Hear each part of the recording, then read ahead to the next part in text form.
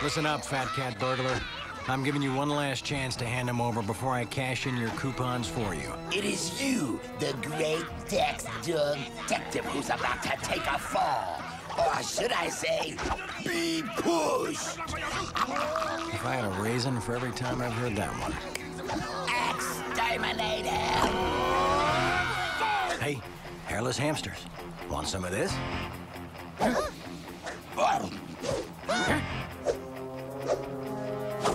My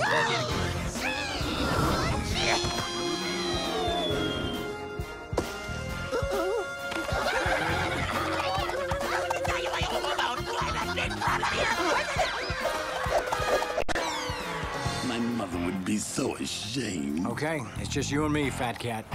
Now fork over the little guys and no one gets hurt. Never! I'm sending you to the cooler, burglar. I'm gonna kill you!